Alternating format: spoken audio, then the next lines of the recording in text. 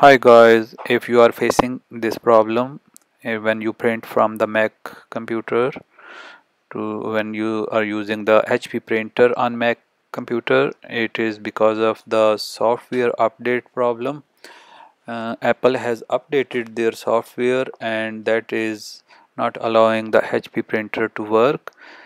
So you need to you have two options number one is the good option is if you have the wireless printer then you can use that wireless printer. It will it will be solved. But if you don't have the wireless printer then you can try one thing only. You have choice like you should go into HP smart print or and uninstall it.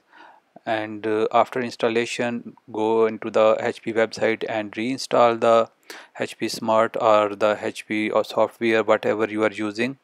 So if it will solve with that. It will okay otherwise you need to wait eh, because HP is working on it.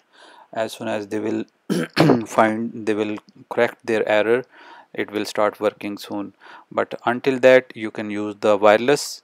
Wireless printer will not have any problem during this this time.